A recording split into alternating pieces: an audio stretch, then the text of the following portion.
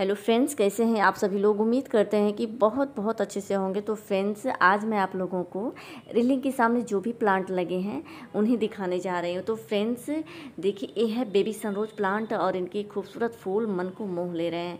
तो इस प्लांट को मैं हैंगिंग बास्केट में लगाई हूँ। अब तो काफ़ी घने हो गए हैं, देखिए। तो इनकी भी कटिंग बहुत ही आराम से लग जाती है और ये देखिए टेंगल हार्ट नर्सरी से छोटी सी कटिंग लाई थी, लगा दी और अब तो मेरे गार्डन में बराबर पड़े रहते हैं।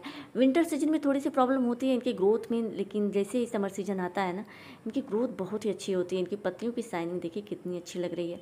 और ज़्यादा से ज़्यादा जो भी छोटे छोटे प्लांट होते हैं मैं हैंगिंग बास्केट में ही लगाती हूँ क्योंकि जगह नहीं है। और ये देखिए जो है पार्सनील।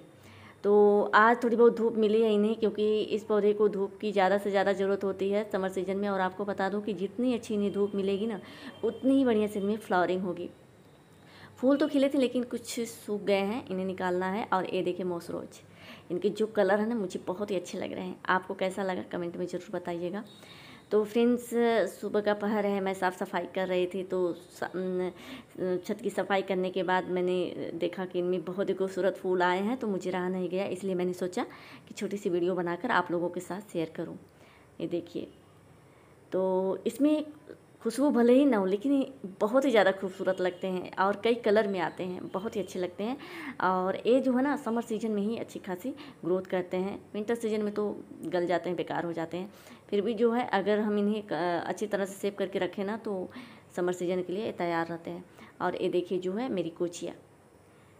ये सिर से ही ग्रो हुए हैं। अब की बार तो मैंने जो है, ज़्यादा नहीं लगाई, बस एक दो पौधे हैं कोचिया के। और ये देखिए जो है अनार का भी है और ये देखिए, ये बेल का है और ये देखिए अपराजिता। इनके जो फूलों के कलर हैं ना, मुझे बहुत ही अच्छे लगते हैं और वैसे आपको बता दूँ कि पूजा पाठ में अब फूलों की कमी नहीं होती है।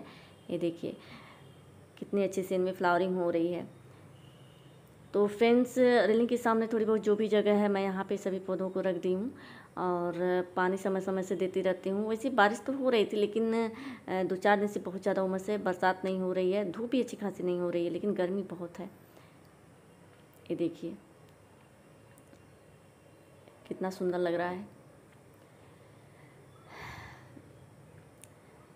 तो फ्रेंड्स, पर्सनील को हम छोटी बड़ी पोट में लगा सकते हैं। बहुत ही आराम से लग जाती है। पर्सनील हुई मौसरूज हुआ, ये देखिए कितना अच्छा लग रहा है।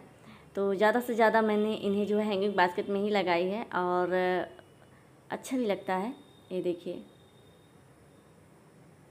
कितना सुंदर लग रहा है।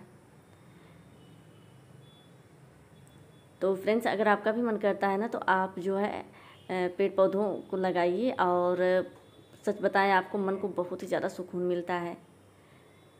कम जगह में देखिए, हमने जो है थोड़े बहुत पौधे लगाए हैं, लेकिन बहुत ही अच्छा लगता है। ये देखिए। कितना सुंदर कलर है इनके फूलों का। तो फ्रेंड्स इस पौधे के ऊपर ज़्यादा केयर करने की ज़रूरत नहीं पड़ती है लेकिन हाँ कुछ चीज़ों का ध्यान देना पड़ता है जैसे कि इसमें जो है मिली वक्त लग जाते हैं ज़्यादा करके तो समय समय से स्प्रे करना बहुत ही ज़रूरी होता है। और एक कटिंग से ना बहुत ही आराम से लग जाते हैं। और आपको दिखाते हैं हम।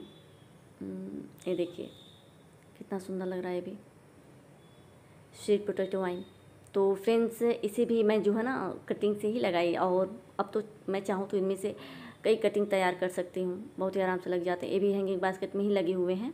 ये देखिए टेंगल हार्ट कितना खूबसूरत लग रहा है। तो फ्रेंड्स पेड़ पौधों का शौक़ रखना चाहिए क्योंकि ये जो पेड़ पौधे होते हैं ना, मन को बहुत ही ज़्यादा सुकून देते हैं। ये देखिए, कितना अच्छा लग रहा है। छोटी छोटी कलियाँ हैं इसमें। और अब तो एक दो फूल धीरे धीरे खिल रहे हैं। ये भी देखिए, इसका नाम हम भूल गए हैं। और आपको बता दो कि मैं इनकी रिपोर्टिंग की थी और बिल्कुल मुरझा गए थे, लेकिन अब जाके इनमें जान आई है। ये देखिए, जो कनेर का है। तो इनके फूलों का इंतज़ार कर रहे हैं। अब देखते हैं किस कलर में फूल आते हैं। तो फ्रेंड्स, यही सब जो है ना, मैं रेलिंग के सामने लगाई हुई हूँ और ये अजूबा है। ये तो बहुत ज़्यादा फेंक देते हैं, फिर भी जो है चलते रहते हैं। और ये देखिए छोटे से जो है इसमें लगाए हैंगिंग बास्केट में। इसमें देखिए कितना खूबसूरत फूल खिले हुए हैं। तो फ्रेंड्स, यही सब है जो रेलिंग के सामने लगे हुए हैं और हमारी वीडियो आपको कैसी लगी? अच्छी लगी हो तो लाइक, कमेंट और सब्सक्राइब करिएगा। और हाँ जो भी गलती हो, कमेंट में ज़रूर बताइएगा। फिर मिलते हैं आप लोगों से नेक्स्ट वीडियो में। तब तक के लिए धन्यवाद।